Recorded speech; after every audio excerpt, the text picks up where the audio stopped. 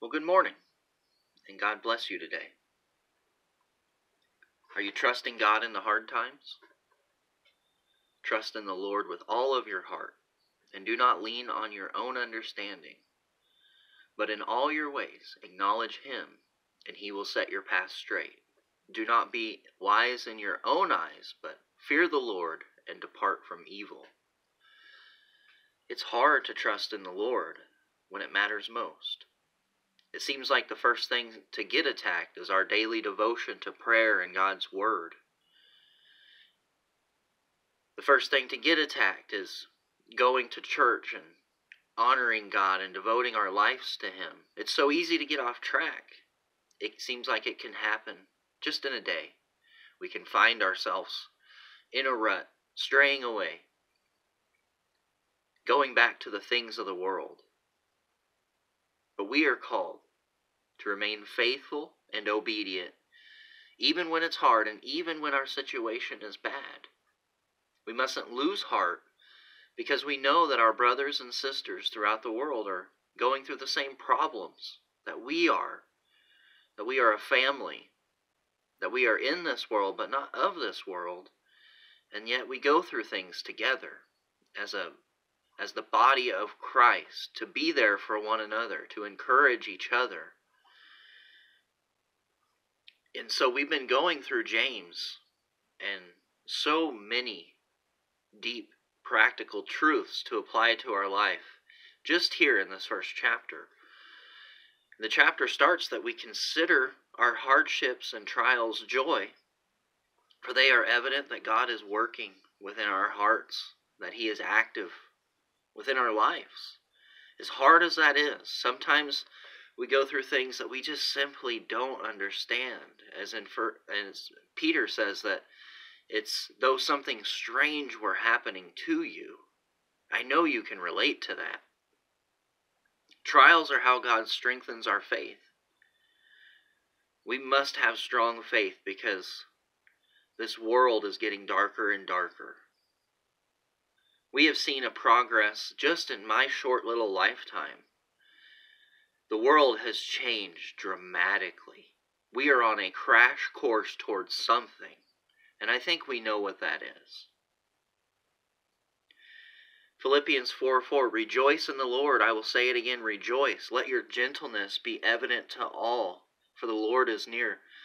Do not forget the Lord is near. This day, Rejoice. Consider your trial a joy. The Lord is near. He will not leave you nor forsake you. He's not going to leave you where He found you. He's not going to give up on you. And that can be hard to remember when you're in the storm. So today I wanted to go through James chapter 1, verses 19 through 21. So I'm going to continue on in our little study we've been doing in James. So let's read uh, chapter 1, verse 19 through 21 together, real quick. It says, My dear brothers, take note of this. Everyone should be quick to listen, slow to speak, and slow to become angry. For man's anger does not bring about the righteous life that God desires. Therefore, get rid of all moral filth and the evil that is so prevalent and humbly accept the word planted in you which can save you. So it starts off in verse 19. My dear brothers, take note of this. Pay special attention to this right here. Everyone, young and old, male and female, you and me, everyone, everyone should be quick to listen. Take special note of that. We shouldn't always be voicing our opinions and demanding attention or wanting to be heard. And that can be hard too. It can be hard to control the tongue, huh? It can be hard not to voice our opinions and to listen to others. It can be hard not to argue our point of view. Now, there is a place in, for that. And there's some things that we must voice the truth of God's Word. But that's not our opinions. Our opinions and the truth of God, God's Word are vastly different. We all have opinions. We all have preferences. We all have things we like and, and don't like, but it's to to honor others above yourself will help us to be quick to listen and slow to speak. We need to be attentive to others' needs and listening to them. It's hard to listen to others, to seek out what they need so that we can be that that friend, that we can be the, the love of Christ to them if we're always talking. So everyone should be quick to listen. We should listen more than we speak. And when we do that, this will help us to become slow to anger. And we should also be listening to the Lord, obeying, giving thanks, and trusting in Him through whatever life brings. Let me read Ecclesiastes verse uh, or chapter 5. Guard your steps when you go to the house of God. Go near to listen rather than to offer the sacrifice of fools who do not know that they do wrong. Do not be quick with your mouth. Do not be hasty in your heart to other to utter anything before God. God is in heaven, and you are on earth, so let your words be few. Wow. So to go near to God, to listen, rather than to offer a sacrifice of fools. That we should be quick to listen to God, quick to listen to those around us, slow to speak, slow to voice our own opinions, sl- slow to speak up when we don't like something. Right? But but when we do speak, it should be as if we're speaking the very words of God, and that whatever we speak should be for the edification of those around us to build them up in faith, not to tear them down by being critical, by you know, demanding our preferences and putting our opinions onto others. God's truth is what matters. When it comes to God's truth, we stand, we speak, we proclaim. But that's not our opinion. This is God's truth we're talking about. So slow to become angry. Wow. We see a lot of angry people today. I struggle with anger myself. I always have. But I know I want to be gentleness. I want my gentleness to be evident, for the Lord is near, for the Lord is living within me, for the Lord has saved me. I want it to be evident of what the Lord has done. I don't want to to repulse people. I don't want to voice my opinion. I want to speak God's word. I want to speak truth into the hearts of those who need it. I want to be the gentleness of Christ for those who need it. I don't need my own way. I want the Lord's will to be done in my life. And, I, and I'm desperate for that. And I know you're desperate for that. And apart from God, we can do nothing. So we cry out to Him in desperation Lord, take control of my life. Help me to walk in obedience. Help me to proclaim the truth of your word. Help me to listen to you, Lord. To be slow to speak, to quit going my own way. Give me self control. Self control is a fruit of the Spirit. We have to be filled with the Spirit of God. And we can't be filled with the Spirit of God unless we're denying the flesh. We need to ask God to help us to control our anger, to be humble, to admit uh, where we fall short, and to just ask God for help. It's a common idea in the world today that it's okay to be angry. I've I've heard so many times in my life, well, well I was mad. Or I lost my temper. And then well it's like you found your temper. I find my temper sometimes. Let's not do the easy thing. The easy thing is to be angry. The easy thing is to lose control. The easy thing is to justify our sin. The hard thing is to confess and forsake our sin, to deny that sin altogether, to pick up that cross, to deny self and to follow Christ, to walk humbly with our God. So the world likes to use anger to intimidate and to control others, or even to manipulate others by provoking them to anger, to get them to act out of character, and then to flip everything against them. Have you ever had someone do that to you? They're just pushing you to get a reaction until eventually you overreact, and then they turn the whole situation and make everything your fault because they were able to provoke you to anger, and that was their whole agenda was to manipulate you in that way. So it's saying that anger cannot produce the righteousness of God. We are to live a righteous life, and we can't do that because anger gives a foothold to the devil, as it says in Ephesians 4. So anger can be a result of our own selfishness, a lack of self control, a lack of trust in God, a lack of patience, a lack of you know, we're not getting our way and we want our own way and we want it now. So, anger can come from bitterness and unforgiveness, failing to deal with our own sin while all the while highlighting the sins of others. We get angry at others when they wrong us, and yet we don't even acknowledge our own sin.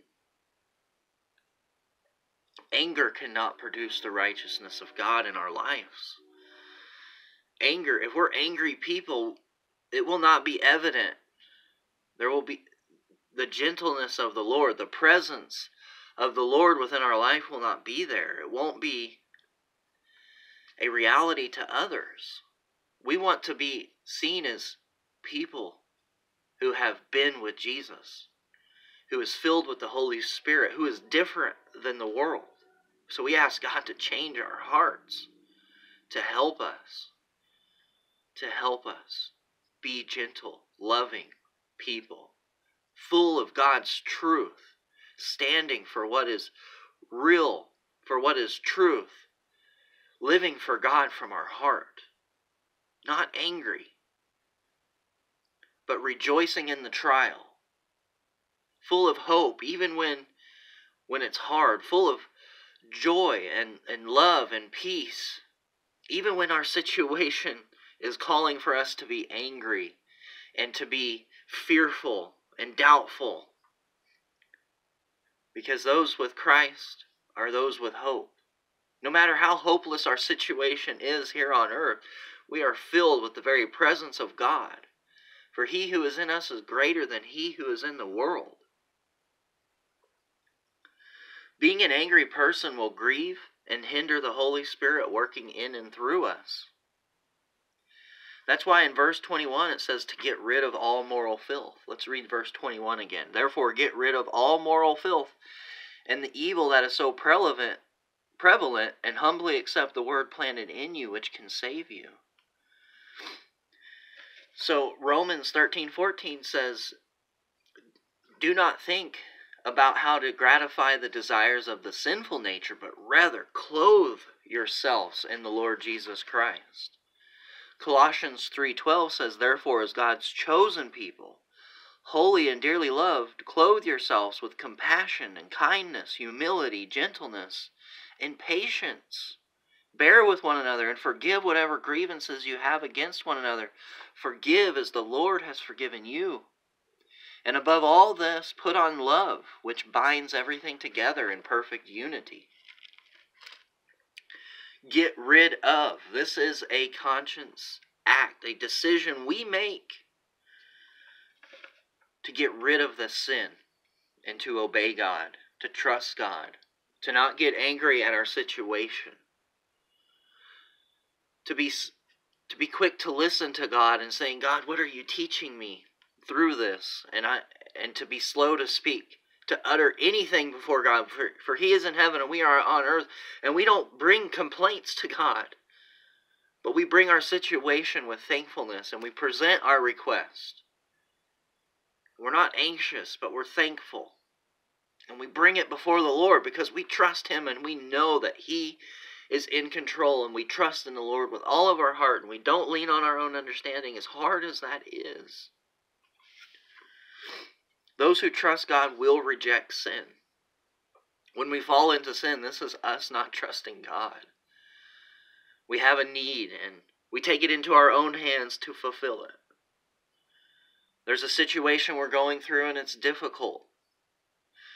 So we often fall back to, fall back into sin of some sort to try to make ourselves feel better in the situation, justifying our anger, our bitterness, or or whatever it is that we fall into. So it says that it's so prevalent, prevalent. Therefore, get rid of all moral filth and the evil that is so prevalent. The evil is very prevalent today, isn't it? Isn't it hard to stay clean in such a dirty world? I mean, you can't, you're getting exposed constantly to things, huh? We all are, and we really need to be our own filter and guard, guarding what our eyes see and what we hear, what we are allowing in. You know, what are we watching on TV? What kind of music are we listening to? These things matter. They really matter. It's not freedom. Christians have no freedom to indulge in questionable, sinful things. So we ask God to convict our hearts of whatever it may be and, and to lead us away from those things. To change our hearts to where we desire His will.